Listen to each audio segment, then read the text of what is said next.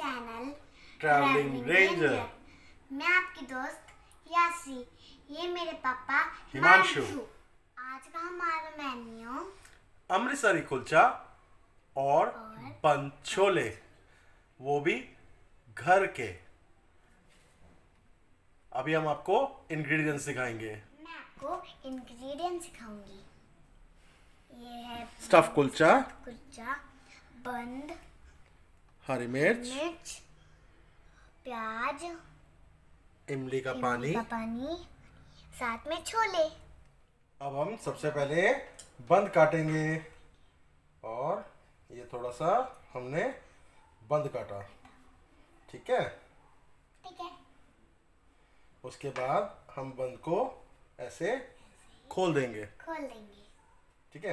ठीक है। थोड़ा सा प्याज थोड़ा सा प्याज हम इमली के पानी में डालेंगे। पानी में डालेंगे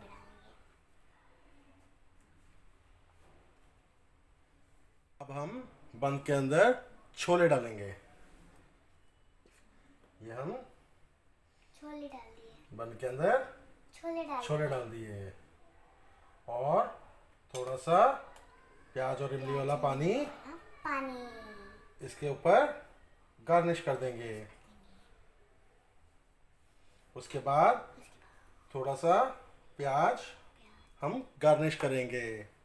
और फिर थोड़ी सी चिली। फिर बंद के अंदर मिक्स कर देंगे। ऐसे मिक्स कर देंगे। जैसे ही हम मिक्स कर लें थोड़ा सा इमली का पानी और डालेंगे। टेस्ट के लिए। ये हो गया तैयार हमारे बंद छोले। अब हम अमृतसरी स्टाइल कुलचा, जो कि स्टफ़ कुलचा हमने लिया है। उसे बनाएँगे। सबसे पहले हम छोलों के अंदर कुलचे को रखेंगे। रखेंगे।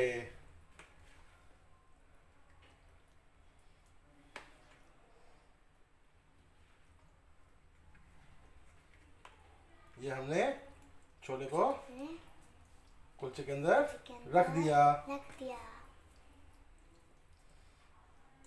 अब इसे थोड़ा सा गीला होने से ही थोड़ा सा गीला हो जाए उसके बाद हम इसके ऊपर से कुलचे को प्लेट में डाल देंगे।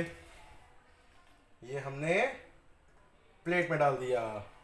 और ऊपर से थोड़े से छोले लेंगे। अमृतसर में इसे भीगा कुलचा कहते हैं। क्या बोलते हैं? भीगा कुलचा। ये हमने छोले ले लिए। अब थोड़ा गार्निश के लिए थोड़ा सा इमली का पानी प्याज वाला इसके ऊपर टेस्ट के लिए डालेंगे। और जो हमारे पास प्याज पड़ा है इसके ऊपर हम गार्निश कर देंगे। और थोड़ी सी चिली से चिली से हम गार्निश कर देंगे। कर देंगे। ये हमारा तैयार हो गया। बंद छोले। ये अमृतसरी कुलचा।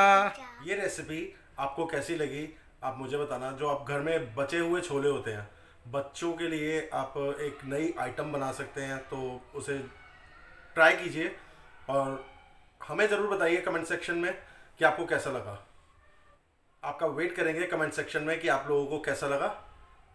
लाइक करना मत भूलिएगा शेयर करना मत भूलिएगा और सब्सक्राइब ज़रूर कर लीजिएगा। Thank you so much have a nice day bye.